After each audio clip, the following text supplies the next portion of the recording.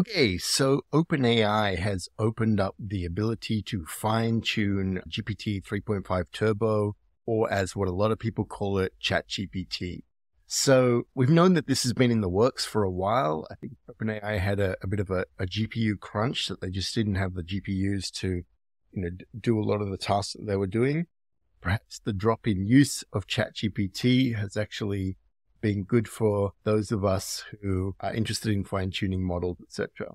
So anyway, they've announced that basically you can now fine tune these models. And it turns out that it's actually just one model that you can fine tune. So it's a 4K version of GPT 3.5 Turbo here. They do mention that the GPT 4 models coming this fall for fine tuning, but unfortunately they're not there yet. And also the 3.5 Turbo 16K context window is also coming for fine tuning later on this year. One thing also is that this current version of fine tuning, we can't actually tune the function calling features. So I think that's also coming later on as well. But this is definitely a good start, right? We can do a bunch of things with this. So in their blog post, they talk about, you know, a few different things that you can do with it. That you can basically now use the fine tuning to improve the steerability so we know, for example, that the 3.5 turbo model originally didn't respond very well to the system prompt. It's gotten better as OpenAI themselves have tuned it and fine tuned it for system prompts. But this allows you to basically pick your own system prompts and tune it in detail so that it will actually respond a lot more to that system prompt that you're doing there. Another thing that they point out here is that you'll be able to get a lot more reliable output formatting by fine tuning it for specific use cases. So this is something that we've known with the open source models. You can actually do some really cool tricks of where you fine tune it on a bunch of examples of the kind of calls that you're going to be making. And you can get the response back in JSON format with backticks, with these kind of things and becomes much more reliable for that than just the normal instruction fine tuning where they're going for a very wide open domain. So think about these things as being something where you can now focus in on your specific use case and tune it for that. Continuing in that theme, another thing that they, they talk about is custom tone that you can now basically give this a custom tone. I'll show you a walkthrough of me training one of these models and just showing that, yeah, we can use it to get rid of things like that as an AI language model and have it respond the way that we want it to respond. In custom tone also means, you know, the way that people say stuff. If you want to emulate a particular person or a brand or you something like that is something that you can do also. Probably the fourth way fine tuning is going to really help you is to shorten prompts. So where people have very long prompts describing, for example, how to do a summarization and how to, you know, get some kind of result out in a structured way, that kind of thing. If you've basically saved a bunch of that data, you can then come in now and retrain it and just have it be, you know, give me my list summarization. And as long as you've got the outputs from the long prompt, you can now train that short prompt to produce the same thing as the long prompt. So that's something that's definitely usable for this kind of thing as well.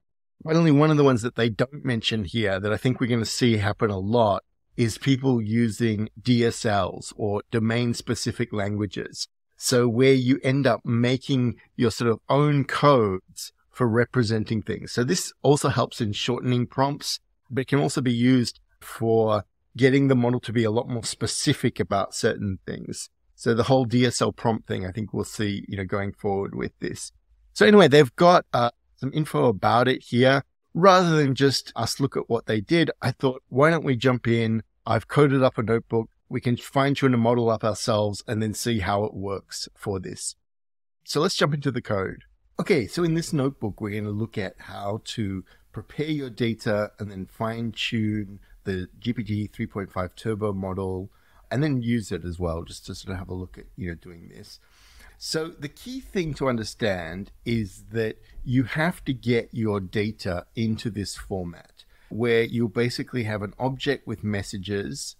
You will have a role, so it's like system, and then you'll have the you know, system prompt. So this is their example that I've put here. You'll then have role user, which is going to be the input prompt. And then you'll have the role, the assistant. This is what you want GPT 3.5 to say here. So this is the format that you want to get everything into here. All right, so what I decided to do was let's try and train a model with just a very small amount of data to see if we can change the tone of the model. So the data set that I've picked is the Samantha data set. So this was made by Eric Hartford. And I see now on Hugging Face, there are actually lots of different versions of this. But, you know, Eric set out with the clear idea to create an alignment in a certain way and also to basically give it the tone of a character. And that's what I thought, you know, would be good to try out here. So I'm bringing in his original data set here. We're just downloading it and then unzipping it. And then what I'm going to use here is just a very small fraction of this. So if I was training this model for real to use, I would use more of these files, but he's got the file split up into different parts. I'm just going to use the how-to conversations in here. You'll see that if we load that in, this is what it looks like in his data set, that he's got the conversation where it's got Theodore, which is going to be the user, and then you've got Samantha, which is going to be the assistant. And you'll see that it's kind of written like a script. So you've got Theodore, you've got Samantha. So we need to get this into the OpenAI format here. So I've written some little functions here to do this. So we're just going to load each of these into a list. That's what we've basically done there. So we've got each line as a list in there. And we're just going to bring these in, extract out the conversation. We're going to set a system prompt. So the system prompt I've gone for here is you are Samantha, a helpful and charming assistant who can help with a variety of tasks. You are friendly and often flirt. So this is more me just trying to test like, okay, can we get that kind of behavior in here? And of course, you would pick a system prompt that's going to be useful for your particular use case. And to be honest, if I was doing this whole data set, I probably would make a few different system prompts and maybe randomly put them in there because I wanted to generalize to this character. And the system prompt is not going to always be the same. I want the model to learn the character for different tasks as it goes along in here. We can see that basically this brings it in you know, if it's the first message, it's going to be a system message where it's going to use the system prompt that we created. It's then going to go through and select out, you know, Theodore as the user, and if it's Samantha, it's going to be assistant, and it's then going to basically put these parts together. So when we run this through, just on one example to see output, you see we're getting messages, we're getting role system, and we've got our system prompt there we're getting role user, and then this is going to be what Theodore says, and then we get a role assistant, what Samantha says. And we've got a whole bunch of those as we go through this.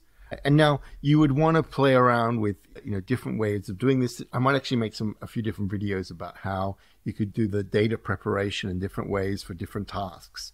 For example, if you wanted to build like a summarization bot, you would probably try looking at taking a long summarization prompt that works really well, say in GPT-4, make a data set with that of inputs and outputs where you've got the context, etc.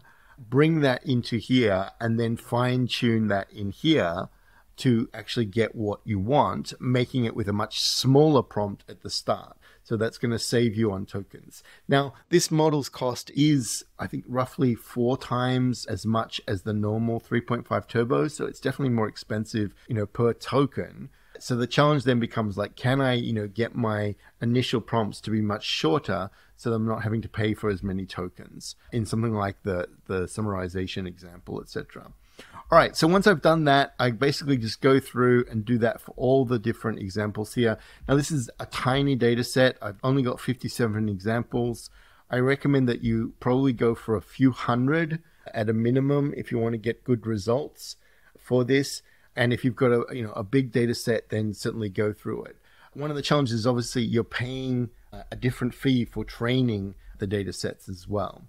So then we've got some just some checking stuff just to make sure that we've got you know the different roles in here. We've got the different parts you know coming together properly. So there were no errors found in that one.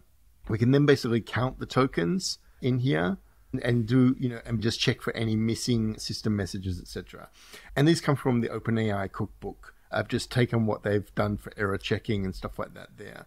So you can see okay we've got no examples with uh, missing system or missing user which is good.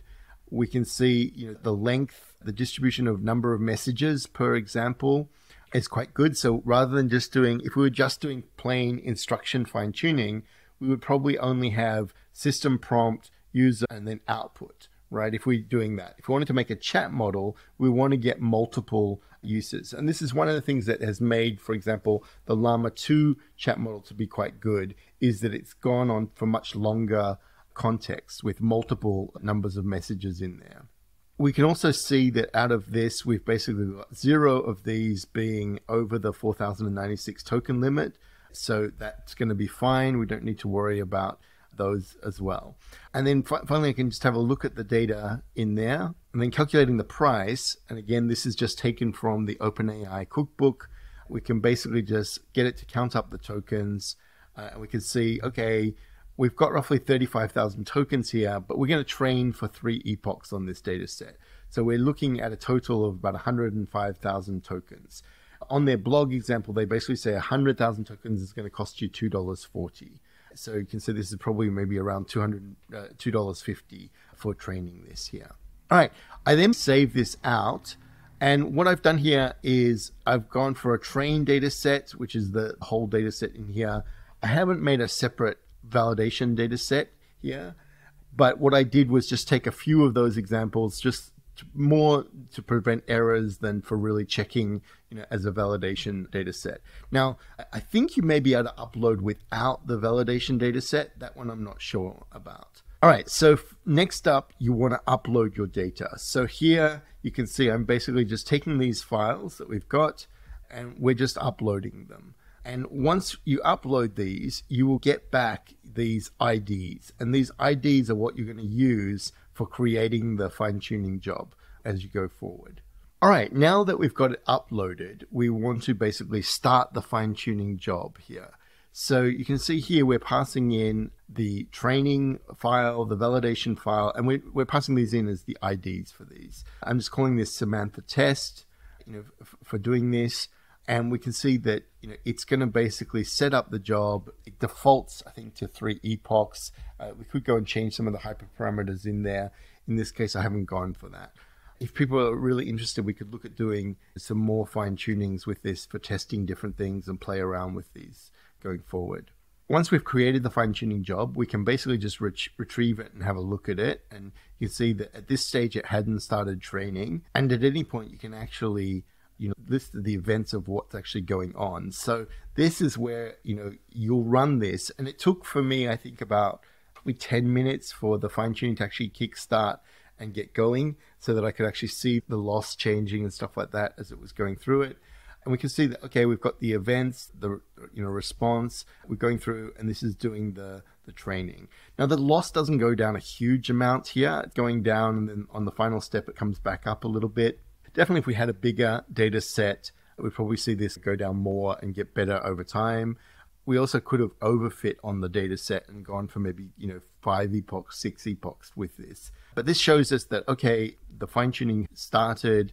We could see the, you know, the steps of the training, and then we see finally that it's it's completed. Okay, so once your fine tuning is done, eh, you want to then test out your model. So here, what I've done is I've taken our fine tune model. So we've got the fine tune model ID back now. And I'm basically just saying, okay, let's have a look at this. We can see that I've just got the same system message that I used for training, but then I'm now asking it, how are you today, Samantha? And you know, we can look at the response back that I get back. So then I just take that, I basically run that into the chat completion I'm passing in the fine tuned model that we use. I'm passing in the messages that we just assembled up here. Got a temperature of zero, max tokens out 500. Looking at the answer that came back. Okay, how are you today, Samantha? I'm doing well, thank you. I'm always ready to help and chat with you. How can I assist you today? Okay, so let's try this with the, the standard 3.5 model. So you can see I'm sending in the exact same test messages that we sent up here. I've just changed the model now to the 3.5 turbo. So we've asked it, you know, how are you today, Samantha? It's even got the same system message. So the same system prompt that we had before. And then what do we get back this time? Rather than here we get, I'm doing well, thank you, and we get a nice response. With the, the original one, we get back, hello, I'm an AI, so I don't have feelings. So you can see we've definitely changed the tone, right? Just in that very short fine tuning, we've managed to get rid of a lot of the as an AI language model, I don't have feelings, I can't do this, that kind of thing. So you can definitely use this for fine tuning the model to get the kind of result that you want out here. And this is an example of tuning for tone, but you could also tune it for specific use cases like summarization, like, you know, different skills, etc. As always, if you've got any questions, put them in the comments below. If you found the video useful, please click like and subscribe. And also let me know if there's some other particular use cases you would like to see me make a video of tuning the GPT models for this, let me know. All right, I'll talk to you in the next video. Bye for now.